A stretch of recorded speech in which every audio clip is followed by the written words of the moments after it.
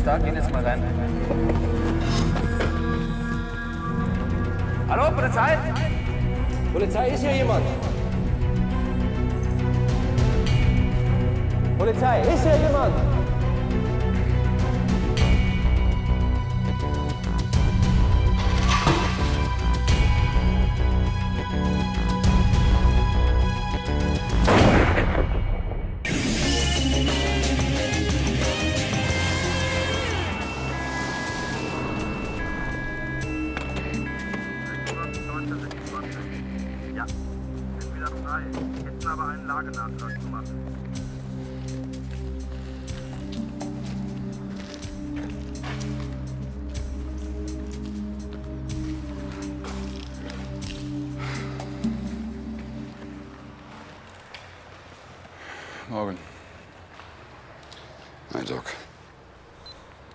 Tja, also. Der Kollege wurde nur 43 Jahre alt. Er ist vom 17. Revier. Er heißt Jürgen. Arndt. Jürgen Arndt, wir kennen ihn. Wir haben schon einige Einsätze zusammengefahren. Der Einsatz war leider tödlich. Das ist ein glatter Durchschuss. Muss aus nächster Entfernung abgegeben worden sein. Was hat er denn hier gemacht? Ich weiß es nicht. Die Ahnung, wieso die Kollegen hier waren. Jemand hat einen Notruf abgesetzt. Sag mal, warum muss denn der Kollege das ganze Programm über sich ergehen lassen? Sven Schulz hat ebenfalls geschossen. Kann nicht ausgeschlossen werden, dass er den Kollegen erwischt hat. Oh Mann. Dann reden wir mal mit ihm.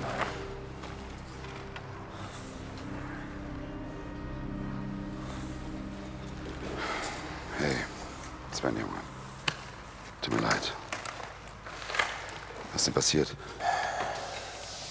Jürgen und ich waren nach der Nachtschicht in der Schenke, um in der Siegbertstraße, um unseren Dienst abklingen zu lassen.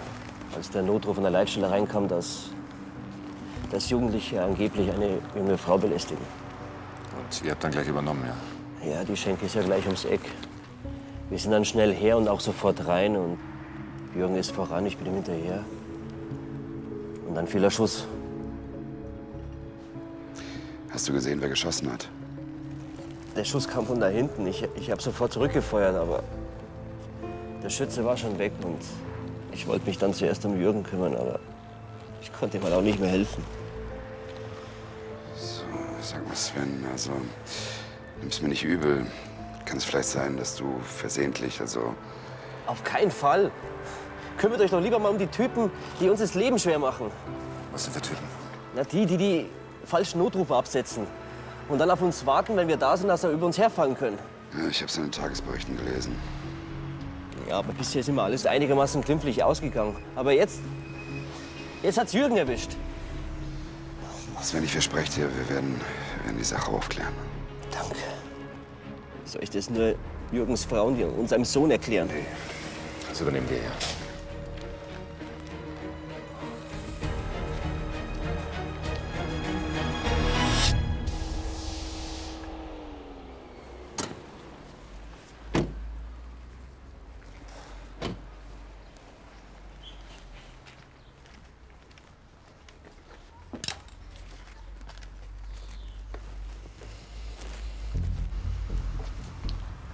Na, Unfall gehabt? Äh, nee. Ist nur eine alte Karte. Kann ich Ihnen irgendwie helfen? Das ist mein Kollege Naseband. Mein Name ist Krass, wir sind von der Kriminalpolizei. Du bist Marcel, richtig? Ja, warum? Marcel, wir würden uns ganz gerne mit dir und deiner Mutter unterhalten. Ist sie da? Ja, okay.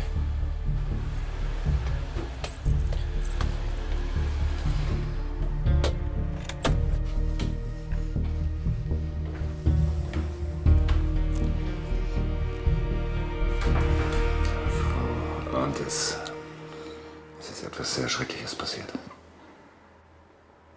Ihr Mann ist vor circa einer Stunde verstorben.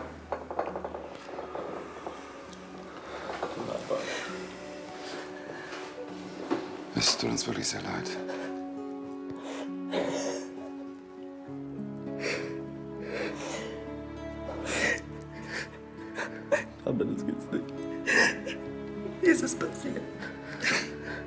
Starb durch eine Schussverletzung während eines Einsatzes.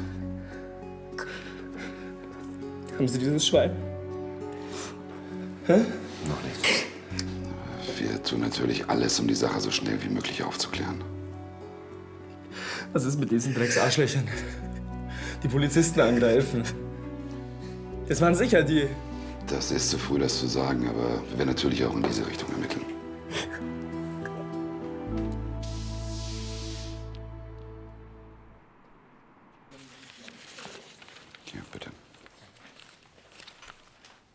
Danke euch. Wird bestimmt ein schöner Kranz. Ja, 43 Jahre. So schnell kann's gehen. allerdings. Netter Kollege war das. Ich habe neulich noch im Flur mit ihm gequatscht. Sag mal, soll ich Robert Bescheid sagen? Der kannte den noch auch. Ach, Quatsch. Der ist im Urlaub, stört er nicht. Der erfährt das noch früh genug. Ich habe mir übrigens mal die Akten angesehen. Das waren in den letzten zwei Wochen drei Überfälle auf Kollegen. Ja, ich habe es auch schon durchgeguckt. Alles sehr brutal und immer drei Täter. Ja. Aber leider haben wir keine Ermittlungsansätze. Also das sehe ich anders. Die Einsatzorte, an denen das passiert ist, waren immer leerstehende Gebäude oder Parks. Also abgelegene Orte. Ja und? Was willst du jetzt machen? Wir sollten eine Bereitschaft einlegen. Immer wenn Kollegen Einsätze zu solchen Orten kriegen, dann, dann hängen wir uns einfach dran. Versuch ist es wert.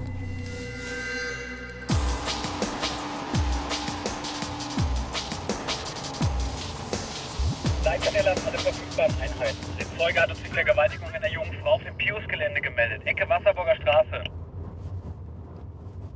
Leitstelle für Wagen 14, wir übernehmen. Leitstelle verstanden. Pius-Gelände. Das ist die stillgelegte Papierfabrik. Der perfekte Ort, um Kollegen aufzumischen.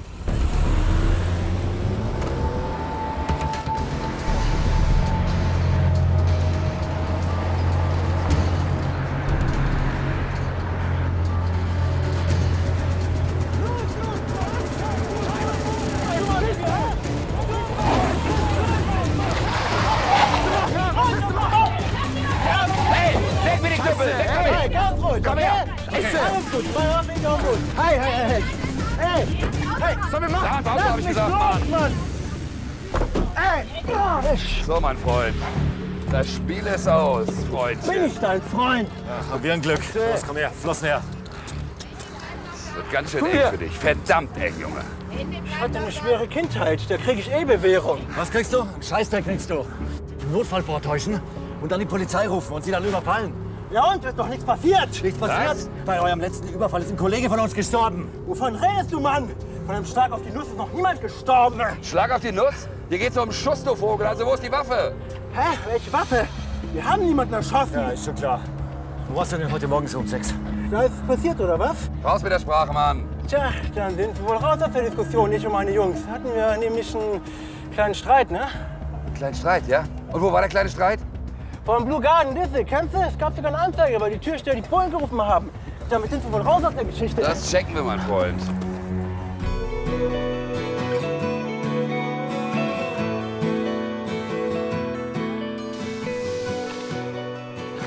Was denkst du? Glaubst du, die Jugendlichen machen es?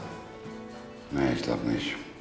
Warum sollten die auf einmal eine scharfe Waffe benutzen? Ja, was weiß ich denn? Weil ihnen ein Baseballschläger nicht mehr reicht? Das glaube ich nicht. Ich tippe da eher mal auf einen Trittbrettfahrer. Die Jungs haben die Überfälle gestanden. Alle bis auf den einen. Ja, bei dem einen geht es ja auch um Mord. Sie waren es aber wirklich nicht. Das Alibi der drei hat sich bestätigt. Das habe ich mir schon fast gedacht. Ich habe mir übrigens noch mal Gedanken gemacht über den Tatablauf. Und ich bin mir ganz sicher, dass Jürgen ganz gezielt Opfer dieser Tat geworden ist. Wie meinst du denn das? Na, überleg doch mal. Sven und Jürgen waren seit Jahren Streifenpartner. Und seit Jahren sind sie nach dem Dienst in die Schenke gefahren. Also zumindest so gut wie immer, um runterzukommen vom Dienst. Verstehe. Der Tatort ist ganz in der Nähe von der Schenke. Wer auch immer den Notruf abgesetzt hat, der hätte sich schon denken können, dass Jürgen und Sven da hinkommen. Heute ist aber schon klar, dass wir den Täter dann in Jürgens persönlichen Umfeld suchen müssen. Ja, genau. Und ich habe da auch schon ganz heiße Kandidaten. Hier. Diese Fotos waren auf Jürgens Handy. Das gibt's doch gar nicht. Sven hatte ein Verhältnis mit der Frau seines Partners? Und wie gesagt, die Fotos waren auf Jürgens Handy. Das heißt, er muss das gewusst haben. Ach komm, deswegen bringt er ihn doch nicht gleich um. Schon vergessen, Sven ist ein Kollege von uns. Ja, und? Die Fotos sind ja wohl eindeutig. Außerdem ist das die erste heiße Spur, die wir haben. Nee, da gibt's noch eine. Vor sechs Monaten gab es einen Banküberfall. Und Jürgen hat einen der Bankräuber erschossen. Also dem sollten wir auf jeden Fall auch nachgehen.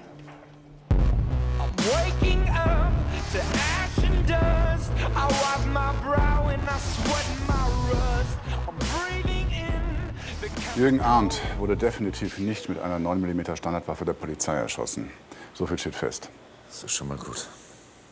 Ja, und da die Kollegen von der Spurensicherung da an dem Mauerwerk eine Patrone aus Sven Schulzes registrierter Waffe gefunden haben, kann er nicht der Täter sein. Sven könnte eine zweite Waffe dabei gehabt haben. Warum sollte er das tun? Warum sollte er seinen Partner töten? Doc, es gibt Hinweise darauf, dass er was mit der Frau des Toten hatte. Also schön langsam muss ich dich mal fragen, ob du irgendwas gegen Sven hast. Für dich kommt immer bloß Sven als Täter in Frage. Nicht nur, aber auch. Gerrit, wir müssen alle Möglichkeiten in Betracht ziehen. Das ist unser Job. Also, da frage ich mich, wie er das alles organisiert haben soll. Jürgens Frau könnte zum Beispiel den Notruf abgesetzt haben.